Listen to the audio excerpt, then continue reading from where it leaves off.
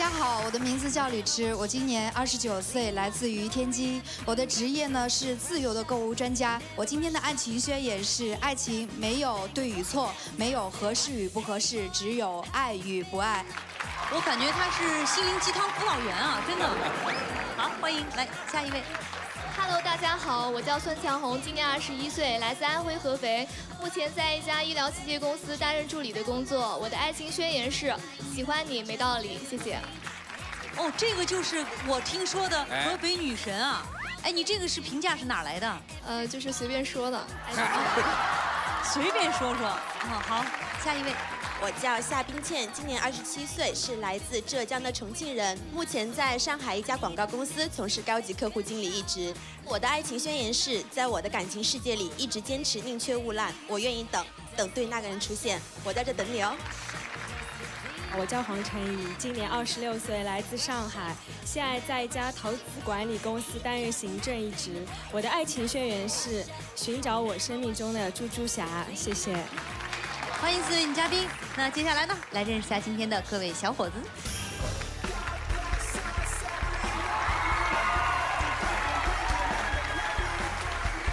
大家好，我叫王振林，今年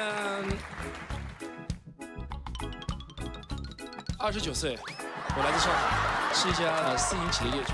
我的爱情宣言是：花儿有了绿叶的衬托会更美丽。如果你的生活中有了我，会更幸福、更快乐。我怎么看着你那么眼熟呢？我看你也很眼熟呀。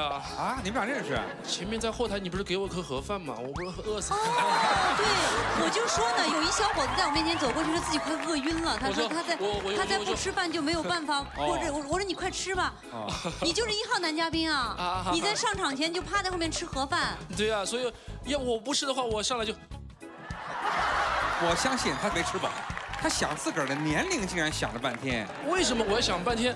我说二十九岁，人家就啊，你这二十九岁长得太着急了吧？我是想我说三十五岁，哇，你保养的真好，不错不错不错。说三十五也没用啊，还是要回到二十九。身体挺好，看得出来。你看这胸大肌 啊，嗯，我遮住你也看得出来。你这个题板上画的是什么呀？经过多年寒窗苦读，今天终于在后台把我自己的肖像画给画出来了。哦，这画像不香的？我很少能看到微笑的时候可以看到第三十二颗槽牙的，真的，你就是其中之一。那就是说我一般人笑起来只露八颗牙，你笑起来吓人啊，上十六下十六全露出来了。呃，我的脸基本上一半就是嘴巴了。来，你有才艺吗？唱歌。来。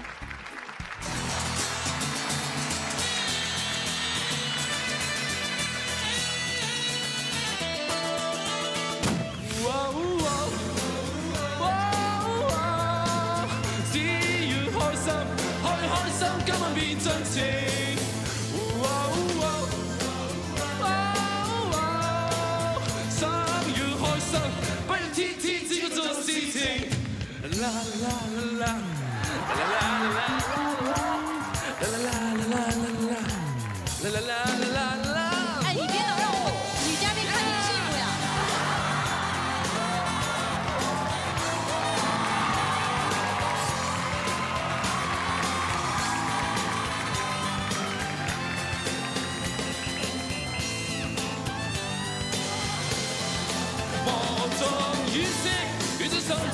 中可惜的個性，開心能延長生命。望中雨色，於這心中一點點野性，為何要故意貪玩這罪名？只要開心，不要天天只顧做事情。陆老師，哎，我第在现场经历这样的现实，就这个人唱的很难听，但是现场很嗨。我是发现你的嘴是真大，你一张嘴，你你只看到你三十二颗槽牙，嗯，我连你盲肠都看到。来，有请，请选择。十六个人挑中哪一个女生？哦，后面看不见。你刚才走那么近，走了一圈，你还没你每个人手都拍过，哎哎哎哎，一二三四五六七八九十十一十二十三十四十五十六，好，十六个，知道了。手指头够吗？把鞋脱了，脚趾头一块加上。好知道了。完了，你看。好了，女嘉宾说第一印象。男嘉宾你好。你好。哦哦哦，我就看到你那边雄赳赳，然后跑过来伸了一个大爪，就是这样，就你不拍也得拍，你不拍也得拍。就是呀，那你你前面跟我拍了没有？拍了，我弱弱的伸了拍了，你手上都是汗。我紧张，我一到你面前我就紧张了。真的吗？嗯。那你的心动女生会是我吗？啊，肯定的，必须的，你。男嘉宾是 muscle 男，然后又张着血盆大口走过来，让我觉得很害怕。真的吗？好好。男嘉宾你好。你好，你好。刚才上台的时候，他们都议论说一号男嘉宾除了长相，其他都是优点。我觉得，我觉得长相也是优点。伤自尊了，快来个人鼓励一下，让我抬起头来，快！我觉得你长得非常有味道，叫起来特别具有亲和力。你的背影真的很迷人，是不是蛮帅的呀？是挺帅的。哼！你们在跟他交流，我跟骆老师可以不用说话，因为我们俩今天觉得这一趴我们俩完全可以休息一会儿，让他一个人在这嗨。没事，你还不客气，你还要可以。好，我们一起来看一下男嘉宾的 VCR，继续了解。十分耕耘，不一定会有十分收获，但是你不耕耘，绝对没有收获。我叫王哲林，今年二十九岁，现职于一家商标类公司。北京二零零八奥运会那块金牌上的那根带子，就是我家做的。哈哈。呃，比如说还有服装类的啦，鞋子上的啦，包包上的啦。也都是我们家做过的那些商标，我也算是个小老板吧。大家别看我现在身材凹凸有致，其实三年前我是个十足的二五零，也就是体重二百五十斤。我决定改造自己，所以现在我每天都会去健身房，每天都是三小时，造就了我今天的身材。今天的我唯一缺少的就是爱情。所以今天我要在这个舞台上，一定要收获我的爱情。今天我一定要把你牵走。二百五啊，典型的励志男啊，这就两三年时间就变这样了。三年。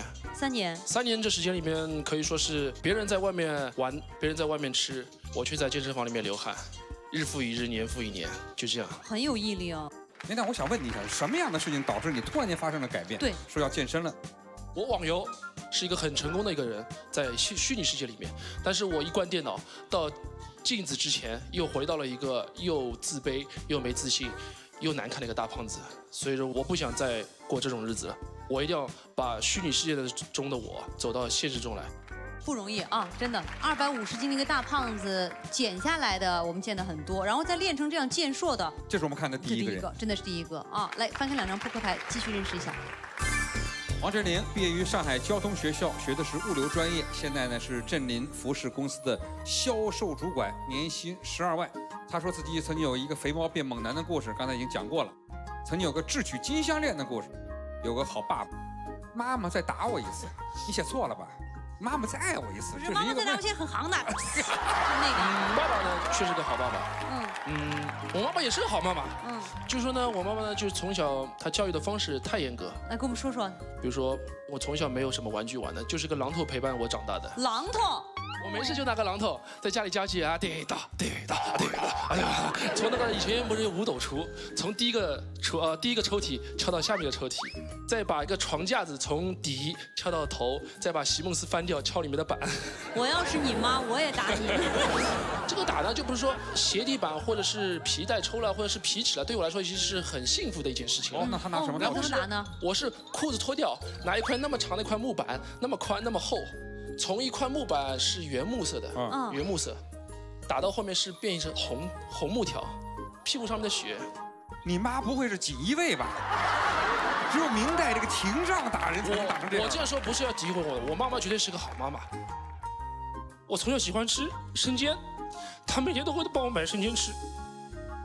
我只要说，我明天不要吃生煎，她才会不买。每天一瓶牛奶，再穷。一一瓶牛奶绝对是省给我喝的。你的哭究竟是想起妈妈打你，你怨恨她呀，还是觉得到现在就是想到妈妈全是爱啊？没有当初她这样的教育，也不会有我今天。真的，我就说从小很调皮，很逆反。没有这么一个妈妈一次一次打我，我也可能会就是误步入歧途，教育不慎什么都会都会出现。真的，你妈妈这么打你，你到今天现场了还这么二百五，那不打你你得怎么样？也能凸显出我的抗击打能力和我的呃心理承受能力。但是我不希望以后我的女朋友还是会出现这种问题，所以我不想再过这种日子。所以说你们以后不要打我了。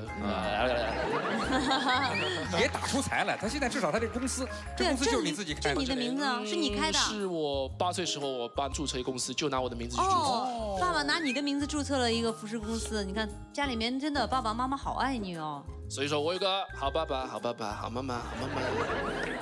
那那个呢？智取金项链啥意思？金项链之前一个女朋友很粗暴。我这里你买什么钱你多放那么多，把我这项链拉拉了之后，我的项链有点断了。然后我就把它放袋袋里，嗯，然后有一辆黑车说啊，杨浦区去不去？杨浦区去不去？我说啊，那么走吧，坐坐黑车吧。一坐就掉黑车上了。过了半年，啊，杨浦区去不去？杨浦区去不去？杨浦区去不去？啊，杨浦区去不去？很多，你你也是的。啊，浦东去不去？浦东去不去？去不去？去不去？杨浦区去不去？去不去？浦东去不去？咦，这这项链不是我那个项链吗？哦，你认出来了？啊，我我我没说，因为浦东去去不去在在旁边，对不对？那我不敢多说，我说上去走，这真巧。然后我就把手机拿出来，幺幺零拨号。哎，师傅，你等会到那个杨浦区什么什么路那个路口，你等一下啊。干嘛要等啊？啊，那个我那个朋友也要上你的车呀，你等一会儿，等会儿我那个朋友会来了，你那个到时候车是人说好，你等一下哈。还有生意，那行。你手机就开着。对，然后到了，师傅，你这个项链让我看一下好吧？我前段时间掉个项链跟你这蛮像的，啊不。这怎么不是我的？我绝对还给你，你放心。然后你就脱了，脱。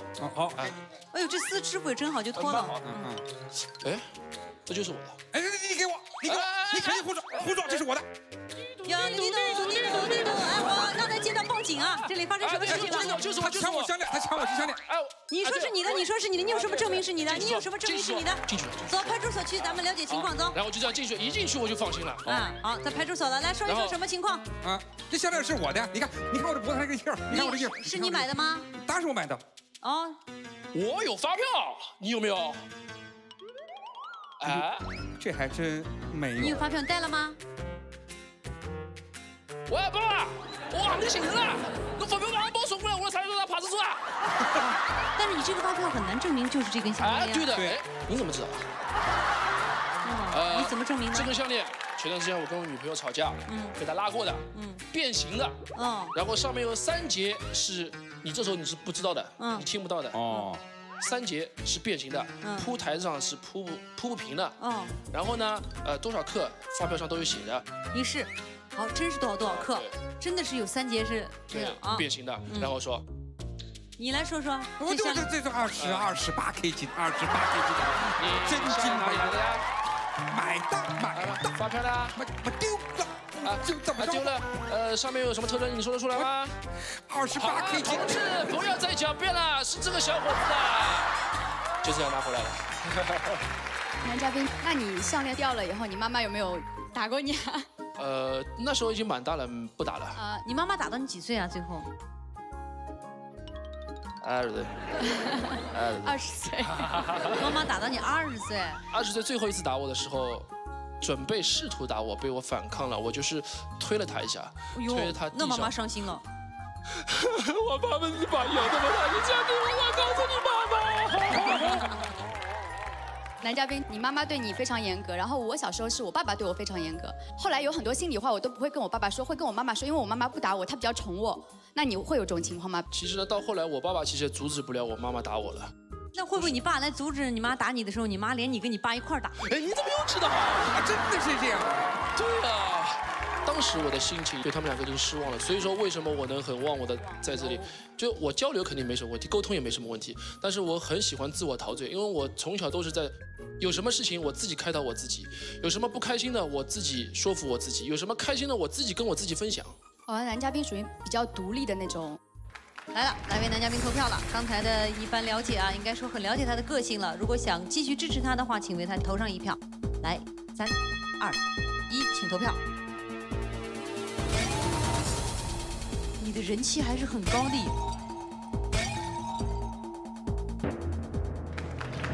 翻开后两张扑克牌，王志林呢谈过三次恋爱，曾经有两首辉歌唱了四年。他希望找这个女生呢，像性格大大咧咧，但要有内涵，不要翻旧账。那男嘉宾，你觉得恋爱三次里面最深刻的是哪一次呢？就是最后一次吧。就是啊，开心也有过，我感觉还是不开心的比开心的更多一点，还是不懂事，没有听妈妈的话。但是小伙子，我确实想问你，你你可能被你妈妈打时间长了，你是不是就是天然的喜欢，对你有点虐待的倾向？的女生没有，我特不喜欢他虐待，我不知道他有这个倾向。我知道了，我早跟他分手了，那时候我心太软，真太软，我分不掉，就是分不掉。幸亏幸亏，那时候我爷爷住医院了，我什么话？幸亏爷爷住医院了。幸亏当初有一件事发生，是我爷爷住医院了，然后我跟他约好，呃，是这天是出去玩的，嗯然后我说，哎呦不行，我不能答应你了，因为爷爷我爷爷住院了住医院了，你跟我一起去看看看望我爷爷，他不肯这他不肯，哦，那是要分开。那就绝对的触犯到我的底线，最起码你作为一个呃晚辈吧，你要孝顺，他非要让你跟他去玩。对，你说不管怎么样，你陪我吃好这顿晚饭，我哪里还有心思吃晚饭？对对对，绝对不行。第二天我就跟他说分手。亲情是不能用来去争夺的。对的，我的家人绝对不允许任何人来伤害，嗯，包括我妈妈。男嘉宾这边问一个问题啊，就是男妈妈罗结婚了嘛，然后他脾气也不太好。那么如果你以后找到老婆的话，会不会很不好相处？就是婆媳关系如果有最好能独立一点，不要跟父母一起住。那他过去嗯有没有说因为不喜欢你的女朋友，就他会不会干涉这一块？我会干涉，会。嗯，会干涉。但是一般性来说，他的干涉我会作为一个参考意见，最终决定还是我。好了，来继续为男嘉宾投票了。如果在这一轮了解之后还想选择他的话，请为他留着扑克牌。三、二、一，请选择。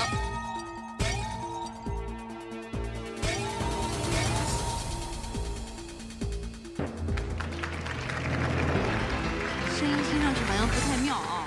嗯，但是还有女孩子继续支持你的。接下来你还可以通过提问的方式了解女嘉宾想问谁问题。就是十五号，吴崇林。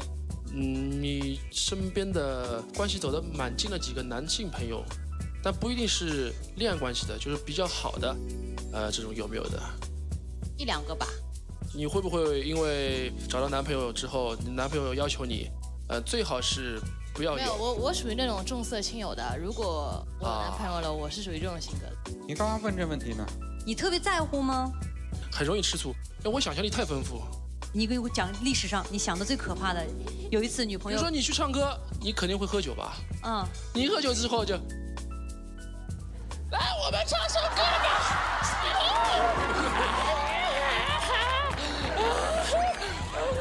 你好欠抽啊！你妈在哪儿？得把你妈叫来，这男的受不了。把你的女朋友想象成这个样子。我我见过这种女的，所以说我一看到这样子我就怀啊，那我女朋友出去玩会不会这样？啊，所以我刚才不了解情况，我肯定会这样想。虽然你刚才很欠抽，但是我特别理解，因为我说是让我你讲述一件你曾经想的最离谱的事儿。就在我们跟他交流，还没到我让女嘉宾决定翻牌的时候，就有人有人迫不及待把两张牌给翻过来。就刚才他这个表现是吧？对就你抱着骆老师那一瞬间，就有人翻牌了。但现在还有扑克牌亮着，请你提出你在择偶的时候不能接受的女孩子的一些基本条件。绝对不能有暴力倾向。有暴力倾向的请翻牌。谁会承认？哦呦，真有人承认有暴力倾向。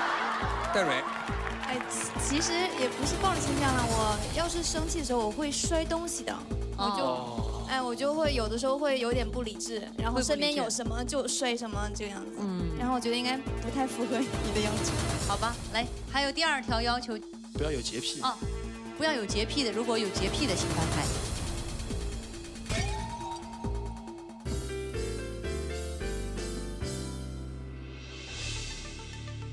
您说您抱着谁唱歌都行，您别抱着我唱歌。那他也不能抱着我唱歌呀，真是。那翻牌的人更多了。从我的右边看了一眼，但是我感觉还是抱着你只能保我更安全。他就这么一个表现，你看，女生对你印象不好。好吧，但是你还有机会啊，因为你刚才曾经在我的手机上留下过你选择的这个号码，嗯那么你是否还要坚持向他表白一次？好，要要吗？要，确定吗？确定。他选择的是十五号，吴春林。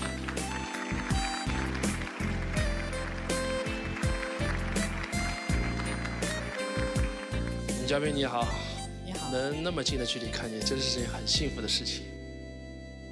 我可以让你变成一个很幸福的女人，不管说是财力方面，还是气力方面，我都能保护你。都能给你谈不上最好的，但可以尽我努力给你最好的。我可以为你烧饭，为你做好吃东西。你想减肥减哪里，我可帮你研究。我居然想不出来，我可以帮你研究出来。单身那么久，我很久没有为一个心仪女孩能掏出我的那么多肺腑之言了，所以我说，呃，给我次机会吧。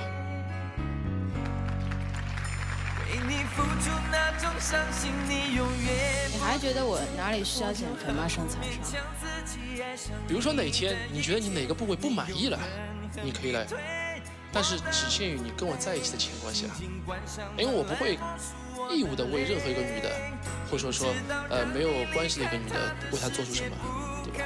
这不是我应该做的，而是我应该做的话就是对我的女朋友，对我将来的妻子，付出我的一切，我能做到的一切，我知道的一切，我能做到的一切，给我次机会吧。伤悲。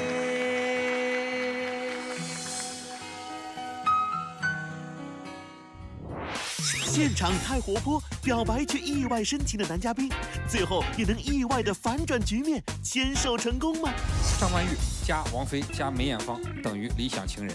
你就打光棍儿吧啊，弟弟，不说姐姐没帮你，这要求太太高了。如果用男明星来形容一下你自己，你是怎么样的一个理想情人的状态？黄晓明吧。哪儿？性别？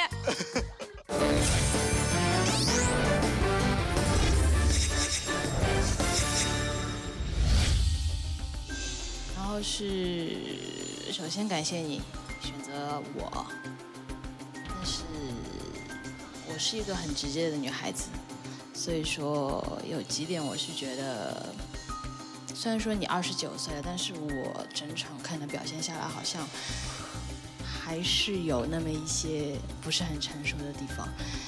那或许人家说，在自己爱的人面前，男男生有可能永远都是小孩子。但是我希望我的另一半是很成熟的，而不是说我带领着他去做一些什么事情。而且，你刚才问我的问题，你说，呃，我是一个很小气的、很容易吃醋的男孩子。或许对你来说这是一种爱的表达，但是我觉得我不喜欢这样的男生。我喜欢那种有自信的，就是说，既然你和我在一起了，随便你怎么玩我都 OK 的，因为你是我的女人，我放心。我不喜欢那种你会去斤斤计较，说你不要和你男性朋友联系。你今天发了什么消息？打我几个电话？你晚回来一会儿，你刚才去干嘛了？我我不喜欢这种，因为我我的性格当中不喜欢那种很很被束缚的感觉，所以真的不好意思。好吧。人不好吗？啊？你曾经追一个大学的同学追了四年，这你才刚刚来四十分钟，你不觉得你才迈出很小很小的一步吗？那最后一个要求好不好？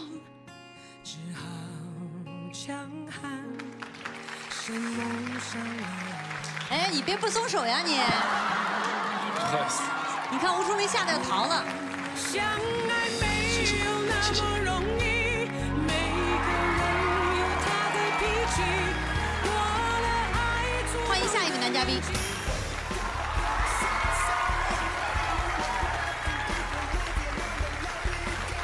Hello，各位现场的观众，大家好，我叫陈轩，今年二十八岁，来自于北京，目前呢在一家乳制品集团公司里面负责品牌传播、推广及管理的工作。我今天的爱情宣言呢是喜欢你没道理。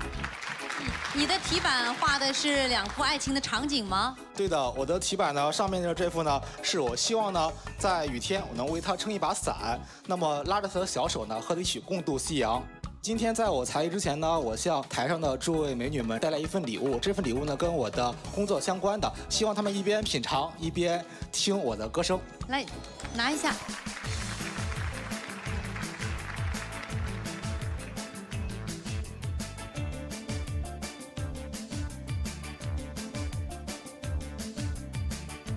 骆老师，咱这都什么女嘉宾啊？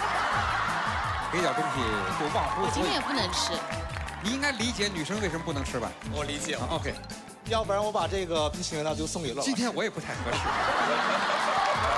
不是，我说我吃多了啊，那我就笑纳了，谢谢。看我这馋劲儿。来，才艺展示一下。呃，我的才艺展示呢是给各位呢带来一首任贤齐的《浪花一朵朵》。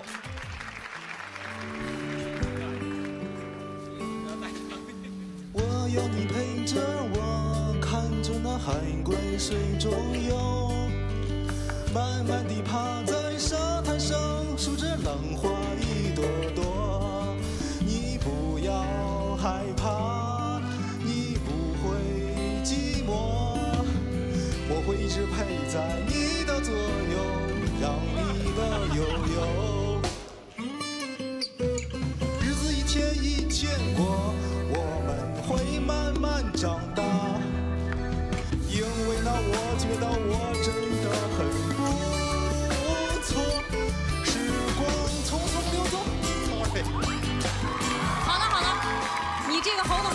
冰激凌吃多了，冻伤了。来，有请投票了。好了，来，接下来呢，我们来看一下男嘉宾，在十六位女嘉宾当中选择的是哪位？好了，来，请说第一印象。男嘉宾你好，你好，我没有吃到你的冷饮，因为是我自己不能吃，因为我在喝中药。不过挺可惜的，我想说这个冷饮以前我是经常吃的，夏天的时候我都是整箱整箱堆在冰箱里的，一天要吃好几根，就是因为这样，我现在才要吃中药调理身体。谢谢你对我们品牌的厚爱。那他付出代价也很大。穿的就还不错，小马甲把你那个小蛮腰就是托的很精致，然后身材比例相当好，有胳膊有腿的。嗯，这是对人的最高评价，真的最高评价。吃人家的嘴短，拿人家的手短，我没吃也没拿，我就是可以想说什么就说什么，对吧 OK。我发觉你右边牙齿少了一颗，是吗？哦，对，这个可是天生的。冰棒咬掉的。不是不是，可能是我天生的原因。不说他的牙，我还不注意看你的牙。我是兔牙加虎牙，double。你看一说别人，他反而暴露了你自己。这是优点，这是我的特点。我其实女孩哦女女孩子有虎牙是非常好看的，可爱的可爱的，对。好，来看男嘉宾 VCR。呃，大家好，我叫陈轩，今年二十八岁，来自于北京。目前呢，在一家乳制品企业里面负责品牌的传播与打造以及管理的工作。以上呢是工作中的我，那么生活中的我呢是一个个性呢比较外向型的男孩子。我平时呢喜欢打打羽毛球。当然呢，我也是一个居家的男人，在工作之余呢，我回到家里面呢会喜欢自己做一下各种风味的这个饭菜、川菜啊、湘菜啊。我个人最大的特点呢，就是喜欢做饭、洗碗、做家务。那么我今天来到这里呢，希望找到的女嘉宾呢是以上三条：A，首先是端庄大气；B，温文尔雅；C，有点小个性。不知道今天在台上是否能够遇到这样的你？好，我们翻开两张扑克牌，了解男嘉宾。陈轩毕业于中国传媒大学新闻系，现在呢在一家知名的冰激凌公司担任品牌经理，年薪二十万，工作的主要地点在北京。在北京。好，自己呢是一个有房有车有狗的人，人称少爷，还当过导演，尝遍了各种冰激凌。其实算我跟倪琳半个同行，哦半个同行学新闻新闻传播的，对哦还当过导演。呃，其实是编导，不是大导演。编导嗯编导啊。在哪个地方当过编导？呃，我在以前在 BTV 做过编导，哦，北京电视台哪方面的节目呢？呃，生活类的。生活服务类的，就是卖冰激凌这样的。嗯，不是，不是，不是。其实呢是张家长李家短的这种节目，然后做成一个片子，然后在电视上播放一下，帮助大家呢调解一些就是民事上的纠纷。老娘舅，老娘舅，北京人的老娘舅。是的，是的。啊。好，尝遍各种冰激凌，你被数过吃过多少种冰激凌了？总之呢，在中国我不是夸下海口啊，呃，百分之四十到百分之五十的冰激凌都被我吃过。男嘉宾你好，你不是尝试过各种冰淇淋吗？嗯嗯那我问一下，我们台上的十六位女嘉宾，嗯在你的眼里是什么样口味的冰淇淋？那我先来形容一下一号美女张倩吧。我觉得张倩的外表呢是那种非常火辣型的，嗯，她内心呢是非常细腻的，所以呢来形容她的口味就是蓝莓火锅口味。哟，好难吃哦！有这种口味的冰淇淋吗？没有没有，只是我在这里呃自创就是自创了一个。你你你要倒台倒闭了，这卖不出去。那男嘉宾我是什么口味的？石原舞呢？我觉得石原舞外表看起来呢非常的漂亮，而且呢非常有内料。我觉得在水果里面可能是奇异果，就是猕猴桃，营养都比较丰富，然后外面是包裹一层脆皮，这是你的这脆。皮猕猴桃。男嘉宾好厉害，我最喜欢吃的水果就是奇异果。谢谢，被我猜中了。好开心。说女孩子不好玩，说她，她，她是什么口味的冰淇淋？呃，我觉得骆老师呢，呃，是坚果火炬型的冰淇淋。这怎么理解呢？呃，首先呢什么地方像坚果，什么地方像火炬呢？首先呢，骆老师的外表呢像一颗大大的坚果，而且呢体型呢是这样。下来的这个大的火炬桶，所以呢口味呢就是一款坚果火炬口味的冰淇淋。哦，那再看看倪琳啊，我觉得倪琳姐姐呢像一位知心大姐。嗯，冰淇淋，冰淇淋是芝士的心，芝士口味的，芝士心的冰激凌。哦哦，这肯定很好吃，非常浓郁的。我觉得这肯定比那个大坚果好吃。好了，如果想继续翻开后两张扑克牌，了解他、支持他，请为他留着你那张扑克牌。各位女嘉宾，请准备，三、二、一，请选择。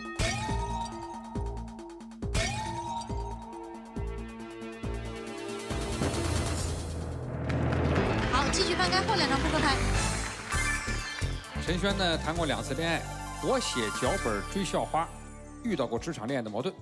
他希望找这个女生呢，哎呦，这可难了。哎呀，这太难了。张曼玉加王菲加梅艳芳等于理想情人。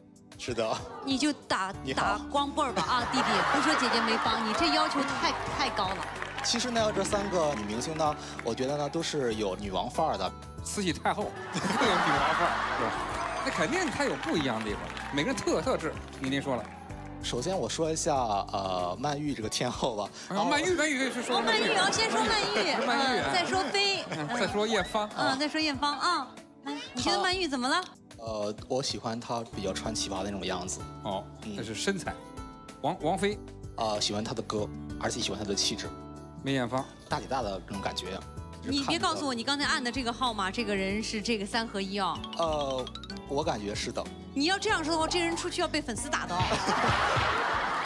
啊，男嘉宾你好。你好。你已经用张曼玉、王菲、梅艳芳这个标准来衡量你的另一半，嗯那我很想知道，如果用三位男明星来形容下你自己，你是怎么样的一个理想情人的状态？可别用三位，用一位。啊，用一位吧，嗯。我觉得呢，呃，黄晓明吧。哪儿？性别？答对了。朋友，我觉得是他身上的哪方面特质啊？我觉得是稳重的慢条斯理型的。行，谢谢。男嘉宾你好，你好，你有写脚本追校花吗？嗯嗯那是不是你在恋爱当中都是比较追求浪漫，喜欢非常漂亮的女生呢？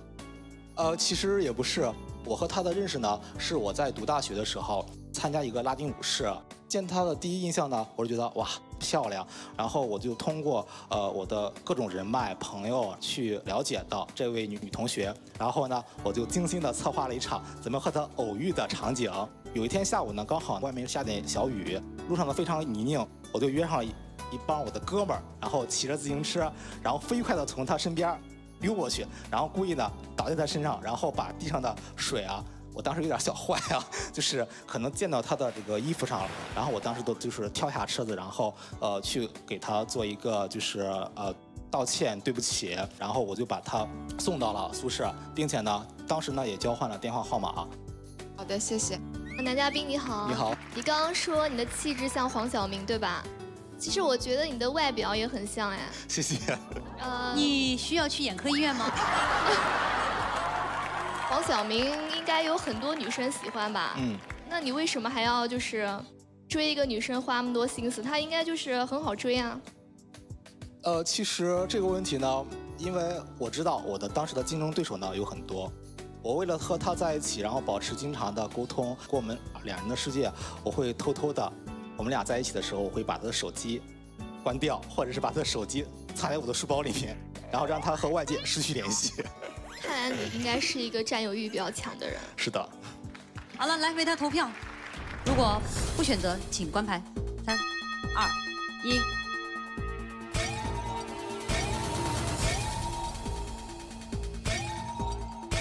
杀伤力好强啊。好吧，那接下来请你提出你择偶时候的不能接受的一些条件。不太喜欢宠物的女孩，因为我自己比较喜欢宠物，我喜欢养小狗。不喜欢小狗狗的，请翻牌。完了，好，好了，没了。没了。我们要请继续为他留牌的女嘉宾来做决定，你是否真要选择他？三、二、一，请决定。有请张丹妮。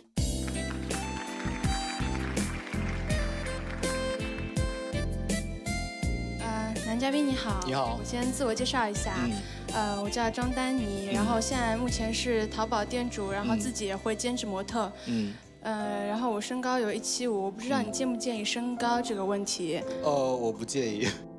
虽然我没有吃到你的冰淇淋，但是呢，我自己本身是成天叼着棒棒糖的那种，夏天成天叼着冷饮的那种，就我非常爱甜食。然后我不知道你会不会为女朋友去自己制作冰激凌之类的。呃，会的，我可以满足你每天一支不同口味的冰淇淋。哦，真的吗？是的。嗯，还有就是，嗯，因为我家里的关系，然后我自己从很小开始就一直是一个人住的。我家因为也养狗，嗯，所以宠物我是绝对 OK 的。嗯，希望你可以考虑一下我。知道了，谢谢。怎么样？现在就要问你了。张丹妮是目前场上唯一给你留牌的女嘉宾，对你说了这么多，而且我确实认为张丹妮还有一点点明星范儿。谢谢乐老师，好高的评价呀！你曾经选的这位呢，我可以决定让你有更改的权利，对不对，乐老师？对对，嗯没错。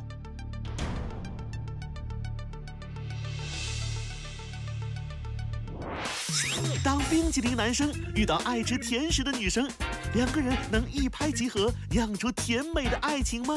我感觉你更像佐罗，戴个眼罩，叼一根玫瑰花，特别帅气。那如果对方每天要打你电话，或者说发很多短信汇报行踪的话，你也能接受吗？那真是太好了，我梦寐以求的。你好贱哦！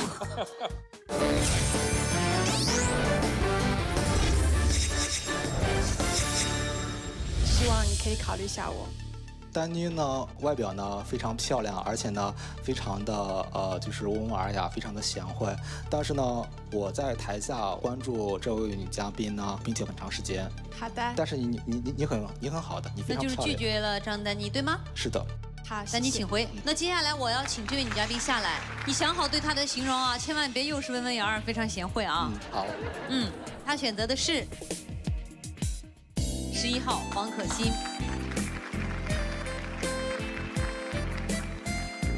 可欣你好。你好。嗯，我觉得呢，我不会再用温文尔雅、贤惠这个词来形容你，我要形容你的词呢是理性。你的思维呢，呃是非常清晰的，而且呢，我知道呢你会多国的语言。其实呢，我一直有一个愿望呢，就是我想跟我未来的女朋友一起环游世界。我觉得语言关如果有你的陪伴，我是没有问题的。你工作是在北京，嗯，对，对吧？对，那我的话，因为我是家里的长女，嗯所以我是不可能离开我的呃，是妈妈。是这样的，因为我们公司是一个比较大的集团，呃，不管你在哪里，我们都我们在每个城市都有分公司，我可以过来的，距离其实不是问题。所以我希望有机会和你牵手。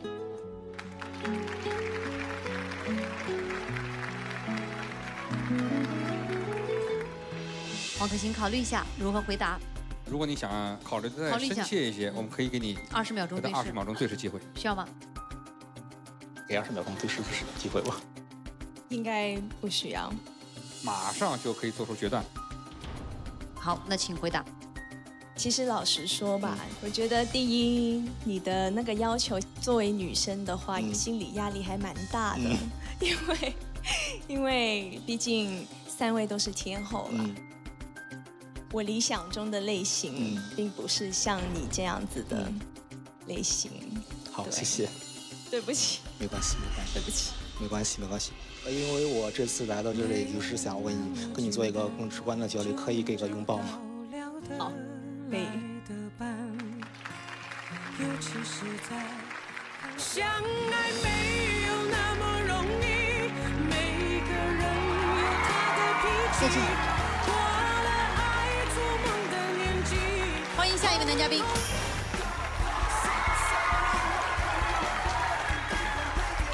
大家好，我叫唐峰，今年二十六岁，来自上海。我现在的工作是一家国企的企业管理。然后今天我的爱情宣言是，在我的世界里，我希望你是我的那个他。你拿的那个是，呃，这是我自己做的，叫丝袜艺术。我一猜就是，呃就是丝袜花，对吧？呃，这是拿丝袜做的。对，就丝袜的那个面料做的。哎，你个小伙子们有这爱好，我知道喜欢这都是好多阿姨呀、妈妈呀、姐姐呀。因为从小家里管的可能就比较严，也不让我怎么出去，所以说兴趣爱好和一般性的男生可能不太一样。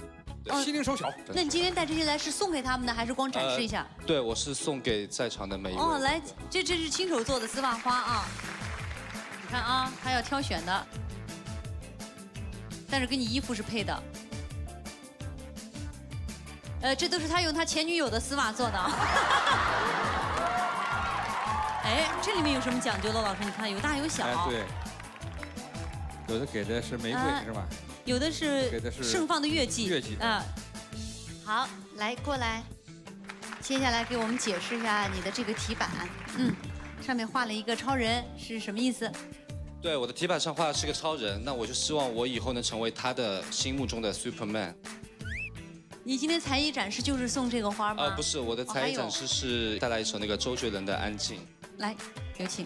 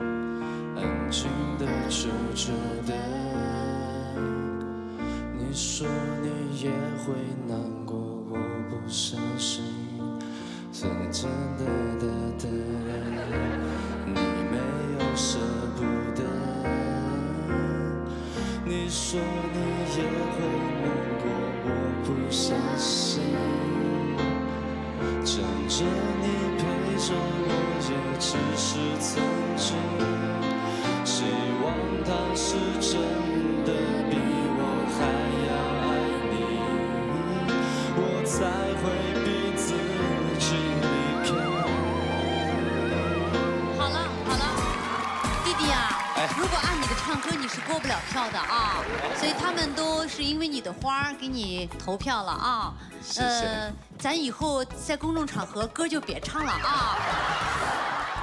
来，有请。纵然带来十六朵玫瑰，但是当中只有一朵是想送给这个人的，那么是谁呢？请选择。哦，请说第一印象。男嘉宾你好，这朵花到我手上的时候，我一看真的是含苞待放，做的非常的细腻。嗯但是这个歌声对吧？我觉得你不应该唱歌，你应该当指挥。一会儿呢低声部起，一会儿高声部起，一会儿高低声部合唱，哇，太了不起了！谢 谢谢谢。男嘉宾你好，我三番四次想帮你合，合了好几次都被你带走了，所以就放弃了。不好意思，其实原本还行啦，今天可能是呃真的太紧张了，对，加油！谢谢。男嘉宾你好，你给我的第一印象就是特别特别高，你站在两个主持人中间，就像一座山峰一样，然后你是中间凸出来的那一部分，然后就是一个山。你是说某一个主持人矮吗？没有有话直说。没有，只是他那个身高确实很高，然后在中间特别的突出。哎，确实，我得问问你有多高的个儿？净身高大概在一米八八、一米一米九样子吧。不可能，不止，我觉得对，感觉不止啊。不止感觉就是因为骆老师也得一米八呢嘛。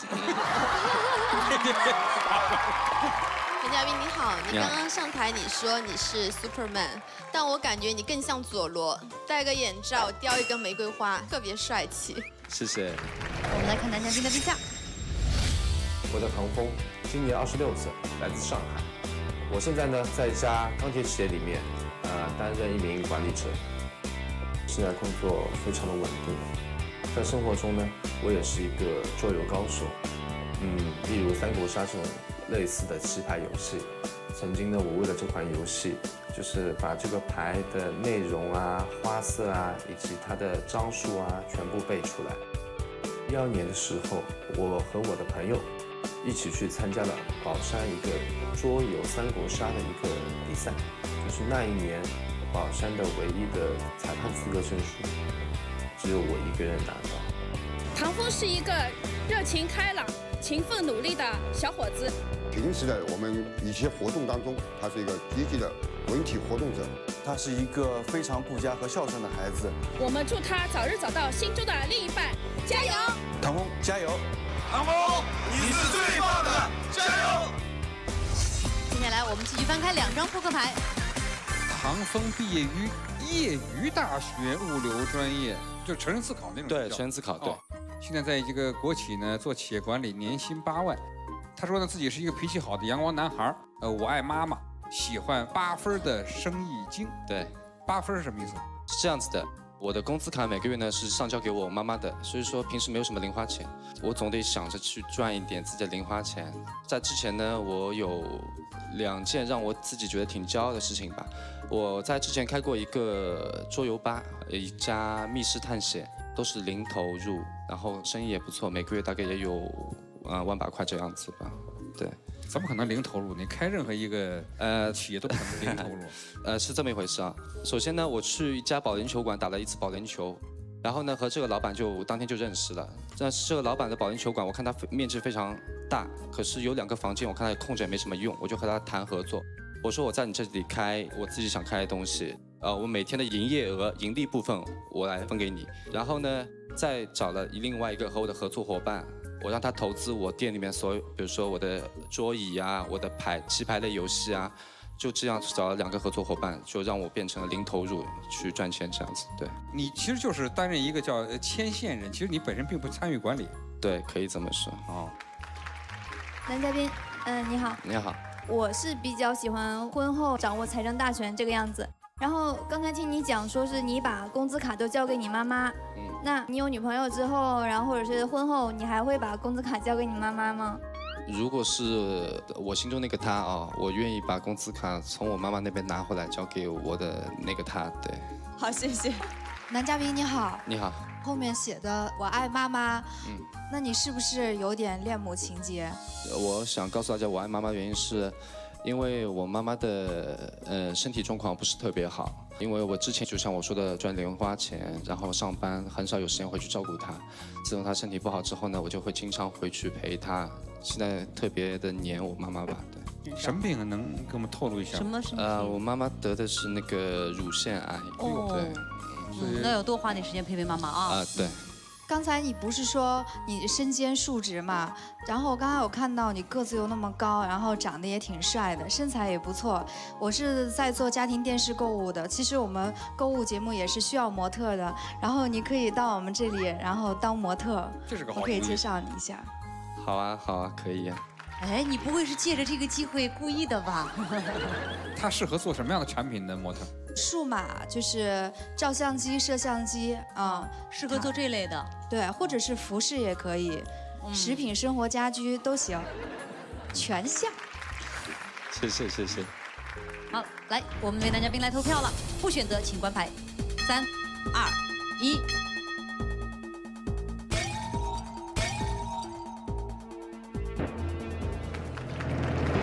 好，翻开后两张扑克牌。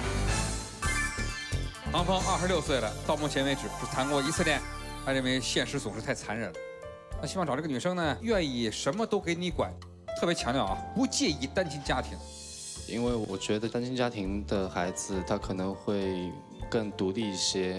因为我妈妈身体不舒服嘛，我也就是体会到那种，嗯，亲人不在身边的时候那种孤独啊，那种寂寞这样子，对。男嘉宾你好，呃，我想如果你真的爱上一个女人，你会把你所有的全部都给她。那我想问一下，上一次的恋爱是不是女朋友伤害你了，所以你才会说现实总是很残忍？可以这么说吧。上一次因为谈的时间久了嘛，你会发现一个女生如果说她有疏忽你，电话会经常不接的话，你肯定会有一些怀疑之心嘛。然后有一天，在他公司门口等他，我我就看见他和他的同事一起走出来的，就打电话给他确认，我说你在哪？你在干嘛？对，然后他告诉我，就是他一个人啊，在等车啊，要回家，和我看到的完全是两码事嘛。我很冲动的发泄一下我的情绪，最后就是导致了自己的那个右手啊粉碎性骨折了。你是去打那男的去了？是的。然后这个女生她觉得我可能比较冲动，她就觉得那我们不应该在一起，应该分手。那那男的到底是她同事还是除了你以外的男朋友？呃后来他也有跟我承认，因为之后不是和好了吗？然后他也跟我承认说这是他的领导，然后的确是有一些问题了。对，男嘉宾你好，我觉得你两三年前那时候，你年纪还小，就是有过冲动的那种刻骨铭心才叫青春嘛。每个人总会经历一次的。我觉得前面还有很美好的路等着你。你你不是今天已经站到这里来了吗？那所以我更关心的是，因为我本身自己是单亲家庭的。妈妈的情况，就我也有点感同身受，因为我爸妈从小也不在身边，自己还是蛮独立的。之后长大了，那我想跟我妈妈一起住，然后如果如果就是不排除万一的话，你介意一个很大的家庭住在一起吗？我不介意，真的，我好挺喜欢的。谢谢对，嗯，谢谢。这个小伙子是台上第一个有这样的这表达的人，嗯他完全不介意。呃，非常不介意，我们为他的这种对爱人的那种奉献和牺牲要鼓掌啊！嗯，呃，男嘉宾你好，我想问一下，你说愿意什么都给对方管，那如果对方每天要打你电话，或者说发很多短信汇报行踪的话，你也能接受吗？那真是太好了，我梦寐以求的。你好贱哦！那不是很好吗？他那么关心我，哎，我跟你讲，这就是人和人的不一样。有的男孩子就觉得你夺命 call 有点烦，你黏着我了。但是这样男孩子他就是喜欢女孩子盯着他的感觉，觉得这样你在乎我，对吗？对，嗯是的，所以说，我觉得你在恋爱当中应该是也很能让对方放心的那种。对，一定是。我有一个词来形容这男生特合适，叫百依百顺。好了，来，接下来要为男嘉宾投票了。如果想选择他的话，请为他留着你那张扑克牌。三、二、一。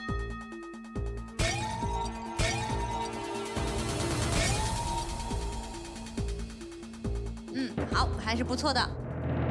主动权交给你了。十六位嘉宾最想了解谁？想了解二号张丹妮。张丹妮。嗯，我想问，如果说以后两个人在一起啊、那比如说你想买超过我现在能力以外的房子，那你愿意和我一起还贷款吗？第一，首先，如果超出你的能力范围，我不会买啊。其实我有些时候挺信奉老外那一套的，就是其实，呃，说真的，我有那么那么爱你，那租房也没事。反正我从小到大搬家已经搬了上千次了，我已经对这个房子的概念，我觉得哪儿都能是家。嗯，家跟房子无关，对吧？对，我觉得真的哪儿都都能是家。我觉得什么样的资本过什么样的生活，很多东西两个人感觉在什么都可以不要去 care 的。哟，你真不容易。真的哦，我觉得这是我第一个看到在舞台上有女孩说，我们哪怕租房子过日子都可以，真好。好，可以提出对女孩子选择时候的基本要求了。呃，如果身高不到一米七的，同时也不肯为了我穿高跟鞋的，可以翻牌。这个倒不过分，因为他实在太高了。嗯，一米七的话，我就不到一米七，就是像我这个儿的，你们就翻牌吧。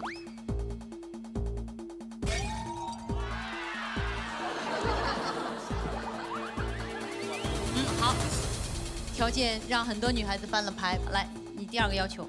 第二个要求是，就是工作的休息日不稳定的，请翻牌。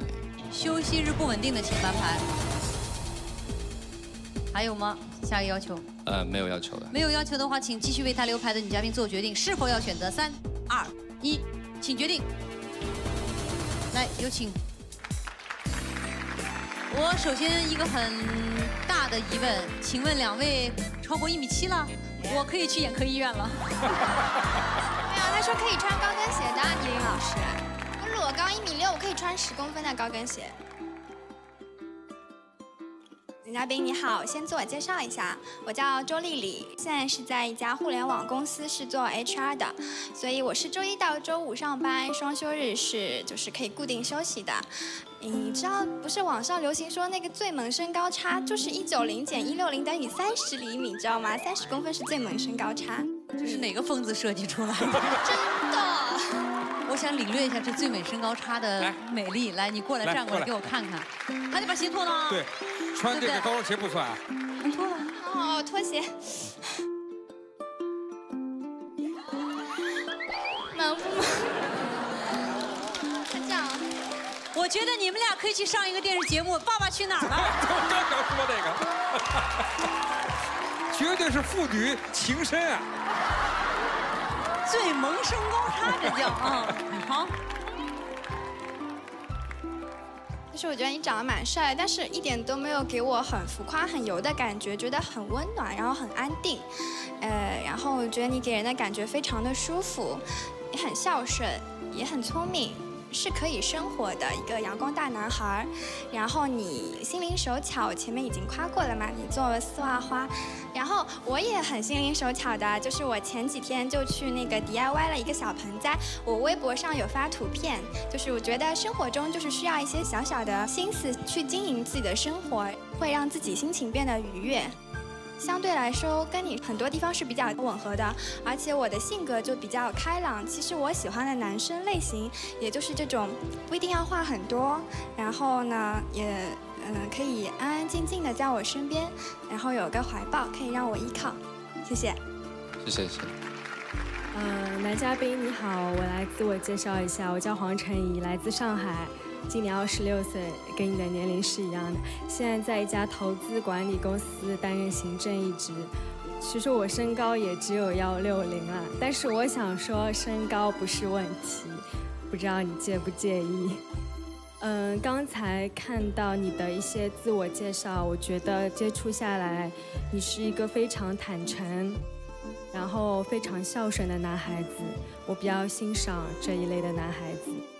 你会做丝袜花，说明你心灵手巧。然后我恰恰是一个手工活非常差的女孩子，所以说不知道在这一点上面我们能否互补一下？你可以教我做吗？谢谢。谢谢。好了，两位女嘉宾向你表白，罗老师。哎，我没什么可推荐的，因为他人家提出来过一米七的请翻牌，但是两位都留着牌，这足以说明两位女生对他的感情是真诚的。嗯，那么这个权利就要交给唐峰了。如果你还拿不准主意，你可以挑选其中的一位呢，跟他对视二十秒，增加一下你的信心。嗯。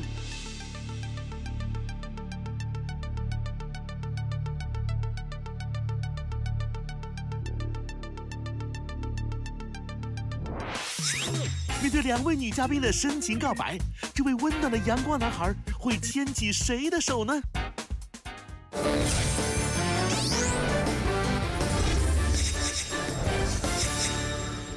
那么这个权利就要交给唐峰了。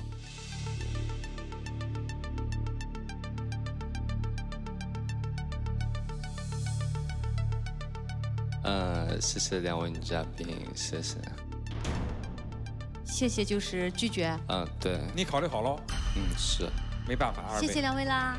谢谢谢谢。祝你成功。接下来我们要为大家揭晓你的选择了，选择的是二号张丹妮。哎，不过妮妮，我就发现场上唯有张丹妮的这个身高跟她很般配。就是，这站在一块儿来看看，哎站一块儿我们看看。哎呦，我可以了吗？当然。你可以了就可以了。呃这个是我特别为你准备的，呃，蓝玫瑰。哇然后总共有十一朵，花语是一心一意。然后我觉得，嗯，在我的生命中一共有两个最重要的女人，呃，一个是当然是我妈妈，还有一个我感觉会是我面前的你，嗯、所以，嗯、在一次机缘巧合下，我和我的妈妈一起看了这个节目。看了你的短片之后，我觉得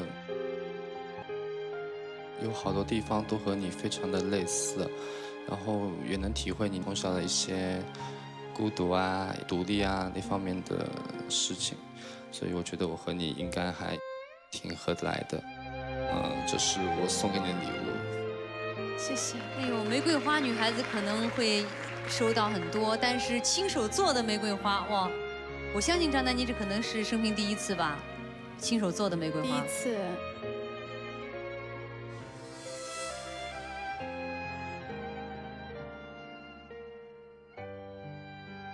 但是我也确实想问一下丹妮，他前面跟你其实交流的很多，小伙子甚至都明确表达了他对你这种家庭身世的不介意。对。可是你没有给他留牌。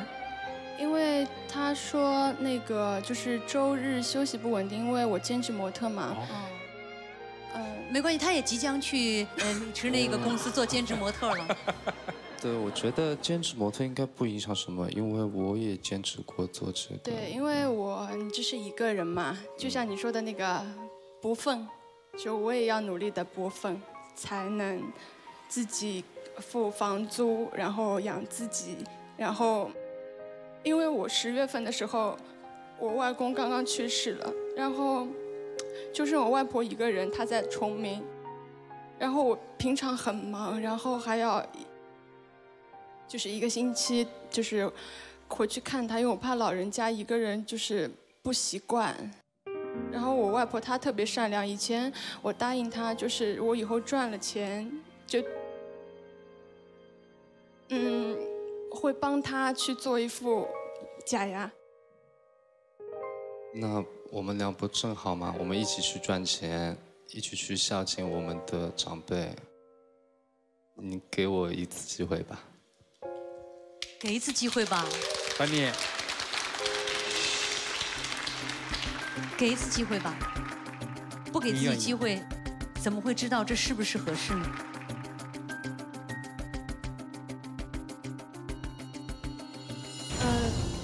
倪玲姐姐，我能要求心动二十秒吗？可以，可以。来，天窝炭烧奶茶，动情时刻。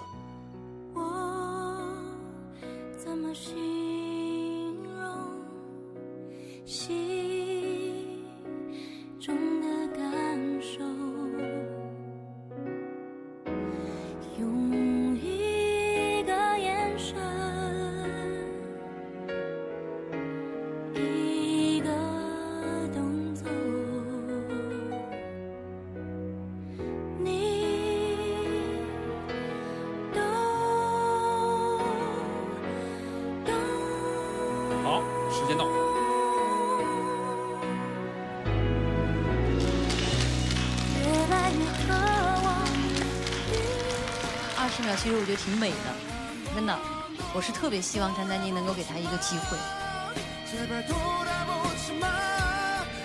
嗯，男嘉宾就是是这样，呃，之前你在翻牌的时候，就是说可能感情上面受了一点创伤。其实我是一个很缺乏安全感的，就你不要看我平常把自己打扮的很坚强，甚至甚至可能有些时候都变成刺猬了。但是其实我是一个很需要一个很宽大的肩膀包容我的人。其实我一开始我觉得我是一个应该会偏向考虑就是比较成熟的男生，但是我在你的身上好像也有看到这些特质。那你的决定是？答应他。丹妮。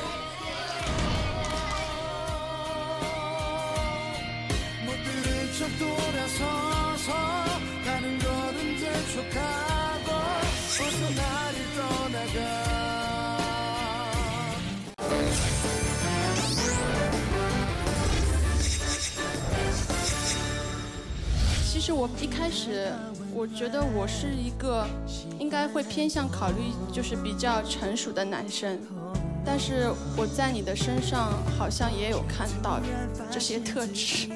那你的决定是？答应他。丹妮。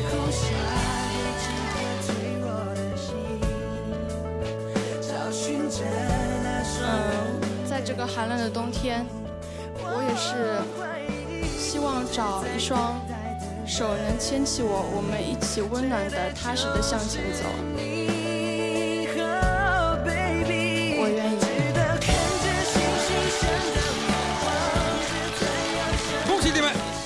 是是不是冥冥中好像有点第六感？我就觉得我今天来节目，就是如果有好的，我就想签一个走了。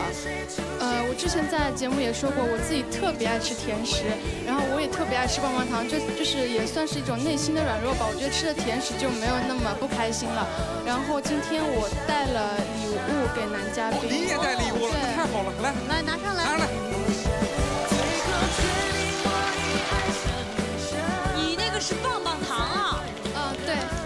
这是紫金锤，